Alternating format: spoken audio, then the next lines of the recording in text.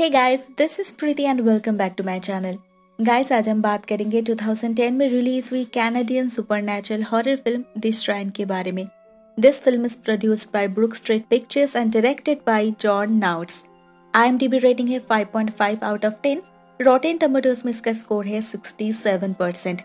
This film stars in the lead roles Aaron Ashmore as Marcus, Cindy Sampson as Carmen, Megan Heffern as Sarah and Trevor Matthews as Henrik.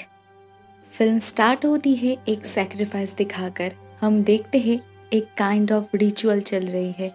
एक आदमी को हाथ पैर बाँध कर रखा गया है और एक हुडेड आदमी मंत्र पढ़ रहा है।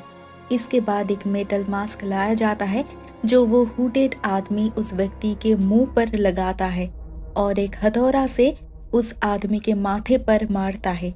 नेचुरली उस आदमी की वहीं पर मृत्यु हो जाती है। सीन काट होता है और हम एक कपल को देखते हैं। कार्मन जो एक जर्नलिस्ट है और मार्कस एक फोटोग्राफर हमें पता चलता है पोलैंड के एक गाँव में कुछ सालों से बहुत अजीब हादसे हो रहे हैं। कुछ टूरिस्ट जो वहाँ पर घूमने गए थे, अचानक से गायब हो रहे हैं और उनके बिलोंगिंग्स किसी और जगह कम्प्लीटली डिफरेंट सिटीज़ में मिल रही है। जहाँ पर वो लोग कभी गए ही नहीं। लास्ट टाइम जो टूरिस्ट गायब हुआ था, उसका नाम है एरिक टेलर ये वही व्यक्ति है जिसे हम फ़िल्म के स्टार्टिंग में देखे थे, और हमें पता है वो मर चुके हैं। लेकिन बाकी लोगों के लिए वो अभी भी मिसिंग है। कार्मन इस केस को लेकर बहुत ही एक्साइटेड है, और वो एज अ जर्नलिस्ट इस केस को इन्वेस्टिगेट करना चाहती है। लेकिन उसका बॉस परमिशन नहीं देते, क्योंकि उन्हें लगता है, लोगों के गायब हो जाने में कौन सी बड़ी बात है। इससे अच्छा कार्मेन ये इन्वेस्टिगेट करे एक किसान की मधुमक्खियाँ क्यों गायब हो रही है? कहीं इसके पीछे कोई गहरा राज तो नहीं? ऑब्वियसली कार्मेन इतनी इंटरेस्टिंग केस को छोड़कर मधुमक्खियाँ ढूँढने तो नहीं जा सकती थी तो वो खुद ही इस केस को हैंडल करने की डिसाइड करती है। और वो साथ लेती है एक इंटर्न सारा को। वो दोनों मिलके नेक्स्ट डे एरिक के घर जाते हैं, एरिक की माँ मिसेस टेलर से मिलने। क्लियरली मिसेस टेलर अपने बेटे को लेकर बहुत ही परेशान है। वो पुलिस से भी मदद मांगी थी, लेकिन वो लोग इस केस को सिर्फ़ एक डिपार्टमेंट से दूसरे डिपार्टमेंट में शिफ्ट कर रहे हैं।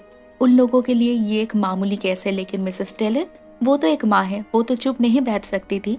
तो जैसे ही एरिक की लागेज बाकी लोगों की तरह किसी और जगह से मिली मिसेस टेलर इमीडिएटली पुलिस को इन्फॉर्म की थी, लेकिन उन लोगों के पास इतना टाइम ही नहीं है कि वो इन बिलोंगिंग्स को चेक करने आए। शायद इसमें उन्हें कोई क्लू मिल सकता था, लेकिन वो लोग आए ही नहीं।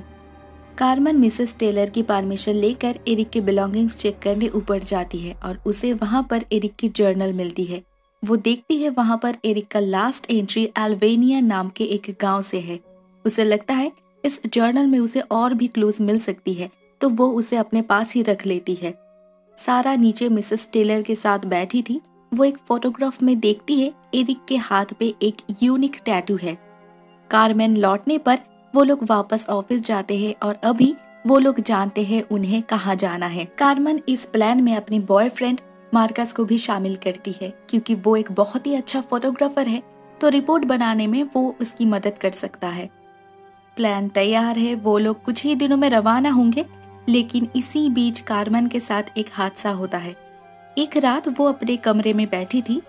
एरिक की जर्नल एंड बाकी लोगों की मिसिंग रिपोर्ट स्टडी कर रही थी। अचानक उसे बाहर से कुछ आवाज़ सुनाई देती है। वो खिड़की बंद करने जाती है तो वो देखती है, आवाज़ बाहर से नहीं, घर के अंदर से आ रही है। दरवाजे पर एक आदमी खड़ा है और ये एरिक है। दरवाज़ा अपने आप बंद हो जाता है और एरिक उसके बहुत पास आकर कहता है, मुझे अकेला छोड़ दो। उसका फेस देखकर कारमन बहुत डर जाती है। उसके आँख और मुँह से खून निकल रहा था। ऐसा लग रहा था किसी ने उसकी आँखें नोच ली है। कारमन चिल्लाने ही वाली थी, लेकिन तब ही शी रियलाइज़ वो सपना दिख रही थी। नेक्स्ट डे कारमन सारा और मार्कस रवाना हो जाते हैं एल्वानिया की तरफ़। रास्ते में कारमन एरिक की जर्नल पढ़ने लगती है। एरिक एल्वेनिया में एक जगह घना फॉग देखा था मतलब कोहरा देखा था। यही उसका लास्ट एंट्री है। गाँव में पहुंचकर इन लोगों को पता चलता है इस गाँव के लोग बहुत अजीब है। शायद लैंग्वेज की वजह से या फिर किसी और वजह से ये लोग बहुत ही अनवेलकमिंग है, बहुत ही डिस्टेंट है। शायद इन्हें अपने गाँव में बाहर के लोग पसंद नहीं है। लेकिन यहाँ के स्कूल्स में इंग्लिश सिखाई जाती है तो कारमन एक बच्ची से बात करने की कोशिश करती है। इसका नाम लीडिया है। कारमन इसे एरिक की फोटोग्राफ दिखाकर पूछती है क्या उसने एरिक को यहाँ पर कहीं देखा है? लीडिया इंग्लिश जानती थी। वो कुछ बताने की कोशिश भी करती है, लेकिन तभी उसके पिता हेनरिक वहाँ पर आ जाते हैं और उसे डांट कर वहाँ से जाने के लिए कहते हैं। ये तीनों आगे बढ़ते हैं और देखते हैं यहाँ के लोग बहुत धार्मिक है और रिलीजियस लीडर्स को राजा की तरह मानते हैं, सम्मान करते हैं। यहाँ से कुछ ही दूरी पर एक जंगल के अंदर उन्हें घना कोहरा दिखता है। बिल्कुल वैसा ही जैसा एरिक ने लिखा था। लेकिन इतने दिनों बाद भी ये कोहरा बिल्कुल वैसा ही है इसेंट इट नॉर्मल लेकिन वो लोग जैसे ही उस तरफ़ जाने लगते हैं, गाँव के लोग उन्हें लिटरली मारने आते हैं। इन लोगों में हेनरिक भी था। पता चलता है, वो इंग्लिश जानते हैं और वो इन लोगों को यहाँ से जाने के लिए कहते हैं। मार्का सारा और कारमेन को लेकर वापस जाने लगता है, लेकिन कारमेन उस फॉक को करीब से देखने की जिद करती है। तो वो लोग दूसरे तरफ़ से उस जंगल के अंदर जाते हैं। और उनके बिल्कुल सामने फॉक था। उन्होंने इससे पहले कभी भी ऐसा फॉग नहीं देखा था। कारमन अंदर जाना चाहती थी, लेकिन मार्कस उसे मना करता है और ये दोनों जब झगड़ रहे थे, उसी बीच सारा अंदर चली जाती है। तो ये दोनों बाहर ही वेट करते हैं सारा के लिए, लेकिन बहुत समय बाद जब सारा नहीं लौटती तो कारमेन अंदर चली जाती है उसे ढूँढने। और जैसे ही वो कुछ दूर जाती है, उसे लगता है वो किसी दूसरे प्लेनेट में पहुँच चुकी है। यहाँ पे उसके अलावा और कोई भी नहीं है। आसपास सब कुछ बिल्कुल स्थिर है, वो धीरे धीरे आगे बढ़ने लगती है और उसे एक स्टैचू दिखती है। श्योरली ये कोई शैतानी स्टैचू है। इसका मुँह किसी जानवर की तरह है और इसके हाथ में एक हार्ट है। कार्मेन फ़ोटोज़ क्लिक करने लगती है। जैसे ही वो साइड से कैप्चर करने जाती है, वो देखती है उस स्टैचू का सर भी उसके तरफ़ घूम गया है। आँखों से खून बह रहा है और हाथ में जो हार्ट था, वो ज़िंदा हो चुका है। इस स्टैचू को देखकर कार्मन बहुत ही ज़्यादा डर जाती है और वो भागकर इस फॉक से, इस जंगल से निकलने की कोशिश करती है।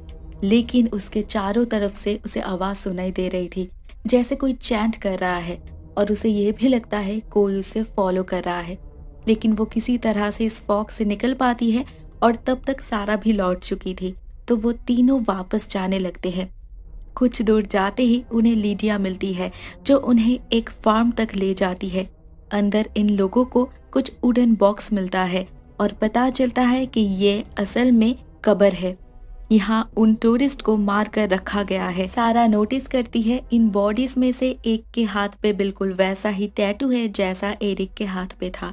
मतलब ये एरिक की बॉडी है। क्लियरली इन लोगों पर किसी तरह की रिचुअल्स परफॉर्म की गई है। क्योंकि सभी की हालत सेम है।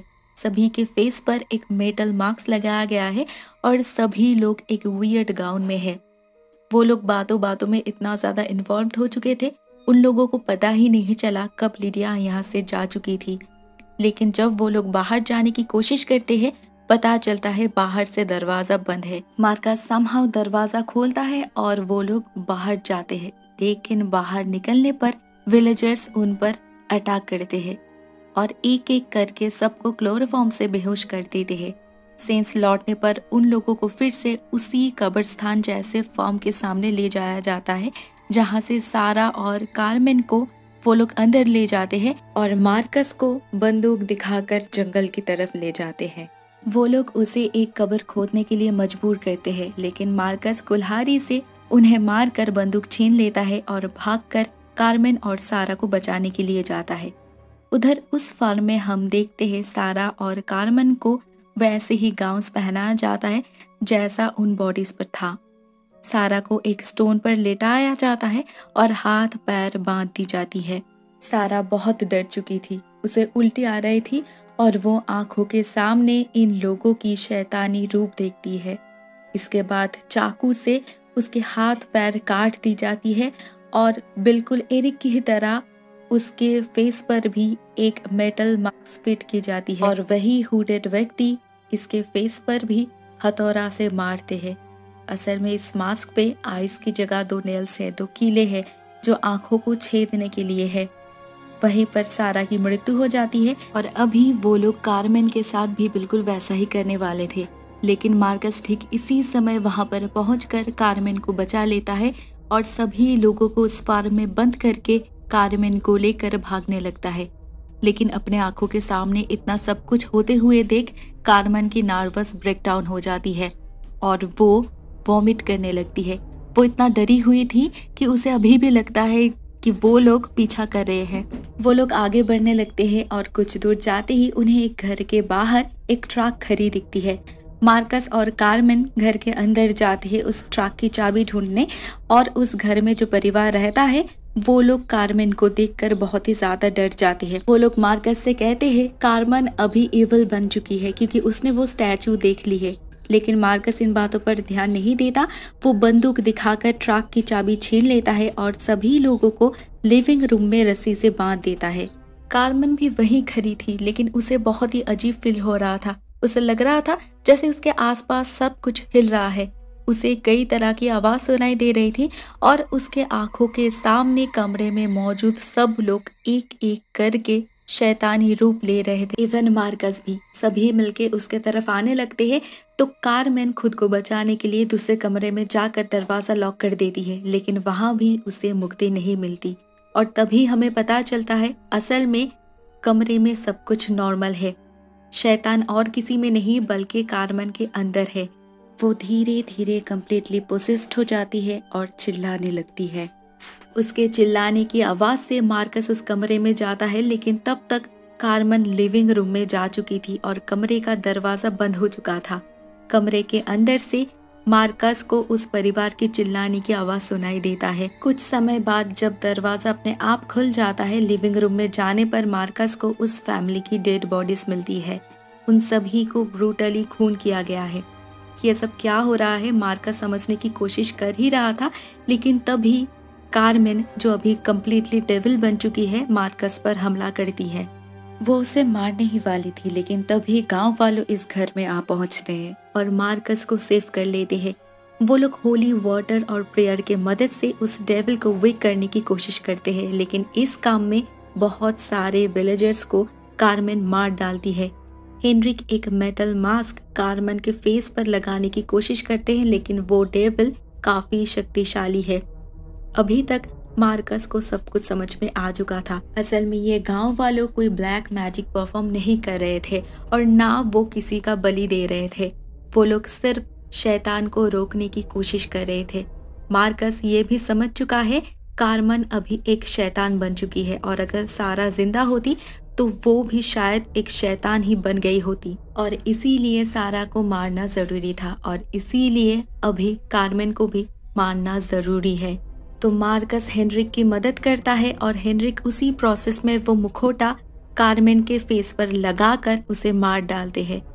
एट लास्ट मार्कस को पता चलता है उस शैतानी फॉग और उस शैतानी स्टैचू के बारे में। जो भी उसे देखता है, वो पोजेस्ड हो जाता है फिजिकली वीक हो जाता है वॉमिटिंग करने लगता है और उसे अपने चारों ओर शैतान दिखने लगता है।